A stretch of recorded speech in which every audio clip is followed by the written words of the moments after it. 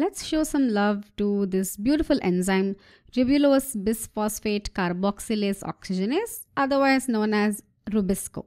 It is, after all, the most abundant protein slash enzyme found on Earth. And what does this enzyme do? It is involved in the Calvin cycle, as we learned in the previous video about Calvin cycle. This enzyme is basically involved in fixing the atmospheric carbon into a form that can be used by plants to produce energy, basically sugars, in the form of glucose and other carbohydrates. So, this enzyme, this beautiful enzyme, has binding sites for both carbon dioxide and oxygen.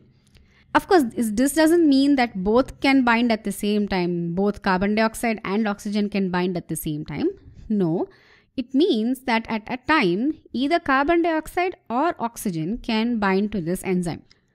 This is not always good. I'll explain in just a while why it is not. But before we move on to that, let's first understand the reactions that would occur if carbon dioxide bound to Rubisco and oxygen bound to Rubisco. So Rubisco is capable of performing two different functions. When carbon dioxide is binding to the enzyme, the process that occurs is known as carboxylation. And when oxygen is binding to the enzyme, the process that occurs is known as oxygenation. Now, carboxylation is a reaction that you must be quite familiar with. If not, go and check out our video on the Calvin cycle. So basically during Calvin cycle, carboxylation takes place where carbon dioxide and RUBP, if you remember from the previous video, this is ribulose bisphosphate. These two react in the presence of Rubisco to give PGA or phosphoglyceric acid. And this PGA is then converted to G3P, which is then used to produce glucose. So this is a normal process that occurs in the form of the Calvin cycle. This is all fine. But what if oxygenation occurs?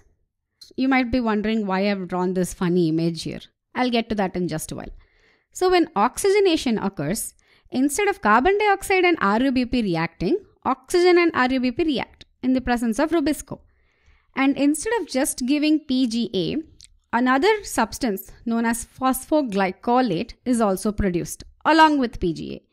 But what happens now is that because of the production of this phosphoglycolate, the number of carbon atoms needed to produce glucose decreases. Basically, this phosphoglycolate steals the carbon atoms needed to produce glucose. As a consequence, more number of these PGAs must be produced so that they have enough number of carbon atoms to produce glucose. So that results in an increased ATP usage. If you remember from the Calvin cycle, in the reduction phase of the cycle and in the regeneration phase of the cycle, ATP is used. To produce more and more PGA, it would use more ATP. And it would decrease the efficiency of carbon fixation. And other resources like water, their consumption would also increase. So this process where oxygen binds to RUBP in the presence of Rubisco to give phosphoglycolate and PGA is known as photorespiration and it is not something that plants require. Now I'll come to this diagram to explain why. Imagine you're touching your nose. Is it easier to touch your nose directly from the front of your face or to twist your arm around your head and then touch your nose? Because that's basically what is happening. Carboxylation is like touching your nose directly. CO2 is binding to RUBP and then the Calvin cycle is continuing. Photorespiration is like touching your nose from around your head because phosphoglycolate is produced, PGA is produced, and then this PGA enters the Calvin cycle, and overall the efficiency of carbon fixation is also decreased. That's why photorespiration is not beneficial to plants. It is actually something that plants, a lot of plants try to actively avoid. And how do they do that? To understand that, let's look at the concept of C4 plants. So, what is a C4 plant? And then what is a C3 plant? First, let's start with C3. During the process of carboxylation, when carbon dioxide reacts with RUBP, if the first product in carbon fixation is a 3 carbon compound like 3 phosphoglyceric acid or PGA, then the plants in which this process occurs are known as C3 plants because the first product in carbon fixation is a 3 carbon product. In contrast, in C4 plants, the first product that is formed as a result of carbon fixation is a 4 carbon compound. So essentially carbon dioxide reacts with a 3 carbon compound and then the first product of carbon fixation is a 4 carbon compound. So that is why these plants are known as C4 plants. And these plants have devised a mechanism to increase carboxylation and to decrease photorespiration. How does that work? To understand that, let's take a look at the anatomy of C4 plants, specifically their leaves. So here we have an image of a C4 plant, maize. So if you take a look at the leaf anatomy, you have these mesophyll cells. The mesophyll cells, if you remember, are, are parenchymatous cells which have chloroplasts, which means that the light dependent reactions, the photosystem 1 and 2, they also take place in the mesophyll cells. But deep within the mesophyll cells is another type of cells known as the bundle sheath cells. So this violet color uh, cells that you see here, these are the bundle sheath cells. And these bundle sheath cells are found only in C4 plants and not in C3 plants. So what do these bundle sheath cells do? I'll get to that in just a while. So basically the mesophyll cells are present within which bundle sheath cells are present and they both enclose the vascular bundle which includes the xylem and phloem in these plants. So this is the anatomy of C4 plants. With this, let's take a closer look at what happens inside the mesophyll cells and the bundle sheath cells. So the mesophyll cells are essentially more closer to the stomata, stomatal openings, which means that it is basically closer to the environment. So what happens is that carbon dioxide diffuses in within the mesophyll cells. And the mesophyll cells have this 3 carbon compound which is known as phosphoenol pyruvate or PEP. So this carbon dioxide reacts with PEP in the presence of the enzyme PEP carboxylase and produces a 4 carbon compound which is oxaloacetic acid or OAA. So what happens is now this oxaloacetic acid is converted to another type of 4 carbon compound which is malic acid or aspartic acid or malate or aspartate. So these compounds, these 4 carbon compounds either malate or aspartate move to the bundle sheath cells through openings in the cell wall known as plasmodesmata. And now here within the bundle sheath cells again malic acid or aspartic acid is converted back to carbon dioxide and PEP. It seems like a very complicated process, isn't it?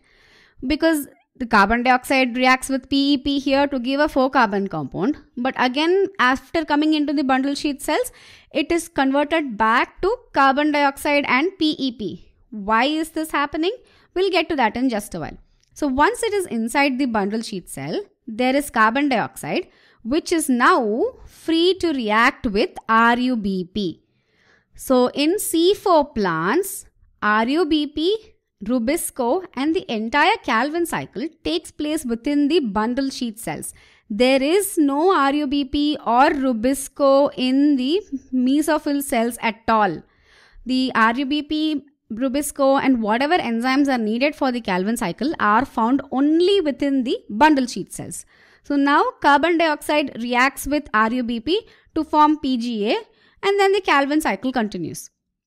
So this way these plants have enabled a mechanism to sort of make sure that only carbon dioxide is reacting with Rubisco.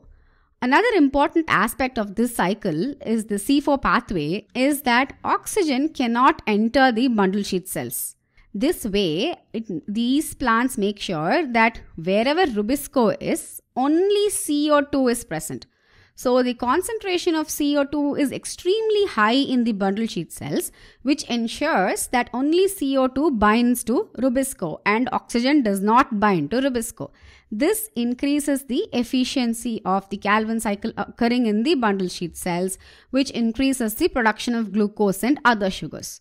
So, so far we've understood how the C4 plants make sure only carboxylation take place.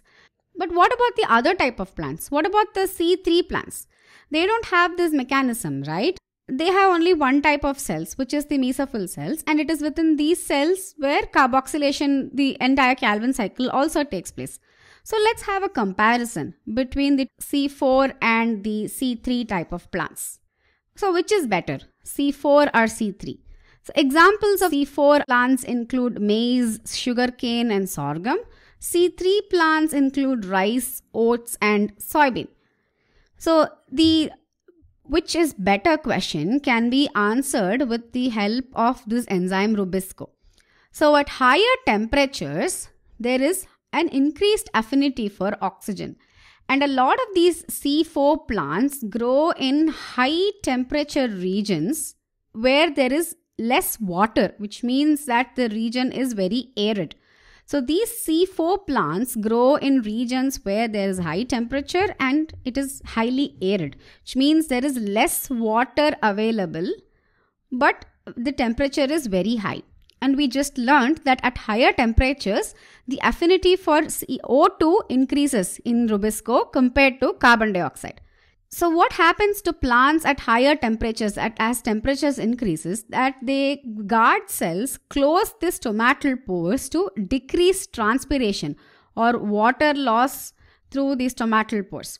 So as this is happening, whatever oxygen is produced as a result of photosynthesis accumulates within these cells. So in the case of C4 plants, the oxygen accumulates here in the mesophyll cells because that is where the light dependent reactions take place, right? So oxygen accumulates in the mesophyll cells. So as the concentration of oxygen is high in the mesophyll cells, if rubisco is present here itself, at high temperatures and at high concentrations of oxygen, rubisco will tend to bind with oxygen and not carbon dioxide, which would lead to photorespiration. To avoid that, to prevent the accumulation of oxygen where there is rubisco, these plants have essentially segregated rubisco in one room and oxygen in another. So they make sure that these two don't meet at all. They don't come in contact at all. So that is why C4 plants have a better survival advantage at high temperature and high arid regions compared to C3 plants because in in these plants in C3 plants there is no segregation of location between where O2 is located and rubisco is located O2 tends to accumulate in the same place where rubisco is present which is why photorespiration is high in these C3 plants so this is an evolutionary advantage for C4 plants that lets them grow in high temperature and highly arid regions.